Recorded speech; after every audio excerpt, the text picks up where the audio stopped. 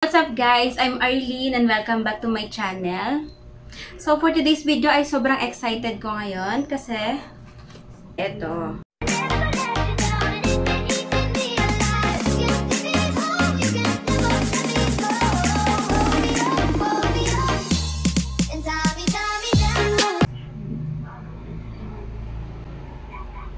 Dumating na siya guys. Pinakahihintay lang lahat ng YouTuber. Ang Google AdSense.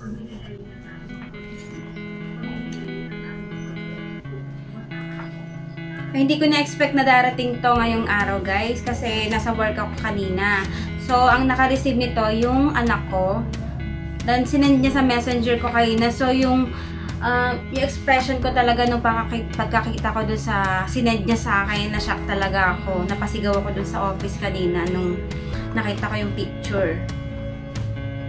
Kasi ang tagal ko na itong hinihintay guys.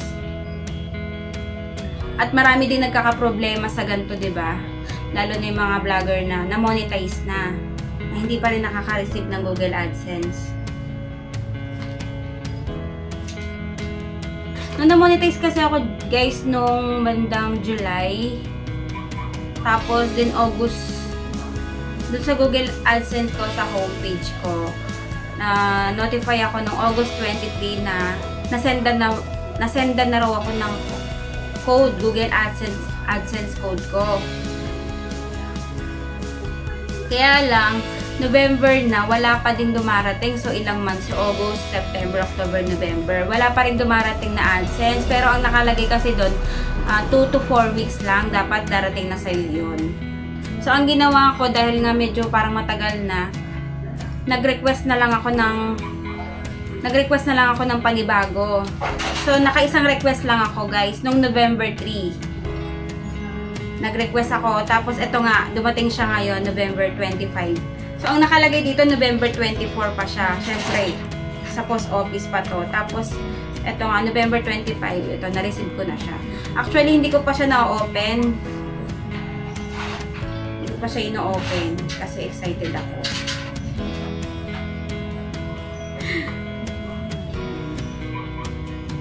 So, i-open ko na siya ngayon, guys. Samahan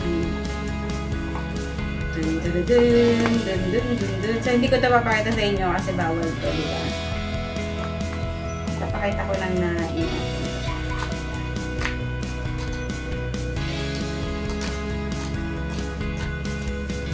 So, ito yung code na nakalagay daw dito. Actually, hindi ko pa talaga alam.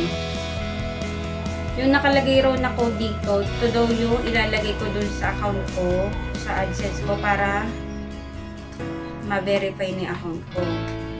YouTube.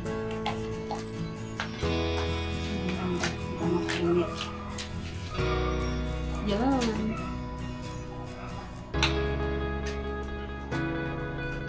Madami nagkakaproblema sa ganito guys eh. Napapanood ko sa mga, mga napapanood ko.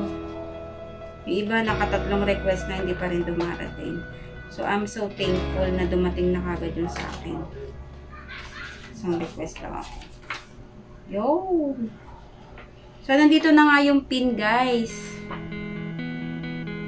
Step, may naka, ano dito. So, Google AdSense. Your Google AdSense personal identification number. So, meron 6 number dito, guys. Ito siguro, ito yung ipapasok ko dun sa Google page ko mamaya. Tapos, welcome to Google AdSense. To enable payments for your account, please follow these steps. Meron siyang step 1 to 4 dito. Yan, sign in to your AdSense account at www.google.com.adsense with the email address and password you sent during application process. Sa step 2, click the gear icon, yung settings, and select payments. Step 3, may nakalagay dito, in the left navigation bar, click account information Then, click Verify Address. Then, step 4, enter your PIN as it appears on the right and click Submit PIN. So, yun, gagawin ko na yun guys mamaya. After dito kasi, ito yung cellphone ko ginagamit ko sa pang-video sa sarili ko. So, i-screenshot ko na lang siguro paano yung gagawin ko mamaya. ka na mag-fill up ng Google AdSense.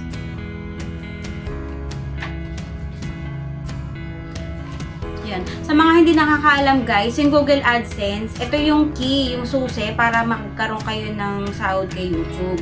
So kahit kasi ano, nag-e-earn na kayo kay YouTube ng ano, $100 above, pero pag wala naman kayo nito, hindi nyo rin makukuha yung sahod nyo. So, ito yung pinakamahalaga para magkaroon kayo ng sahod kay YouTube. Actually, ako guys, hindi pa naman ako nakakaabot sa $100 na ano, threshold.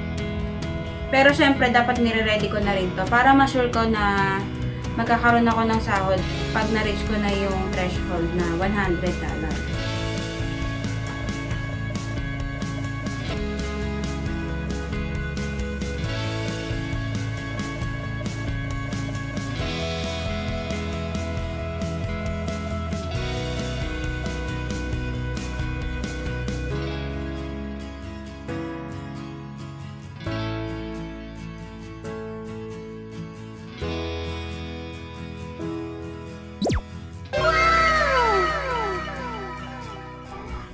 Yun lang guys for today's video. Sa mga nawawalan ng pag-asa na, ma- na makukuha nyo pa yung Google AdSense nyo, huwag kayong mawawalan ng pag-asa kasi darating din yan sa inyo. Hintay-hintayin nyo lang or i-request nyo.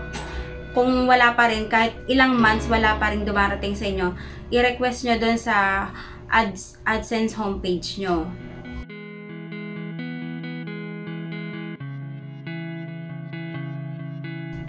para ma-sure nyo na may darating sa inyong code.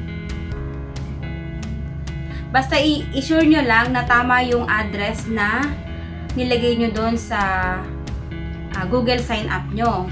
Kasi baka san-san yan makarating, baka maligaw yan. So, yun din siguro yung reason kaya hindi dumarating yung iba. Yung address nila is mali or iba. Kung ano yung address nyo, dapat yun talaga ilagay nyo para hindi siya maligaw. So, yun lang guys for today's video. Bye!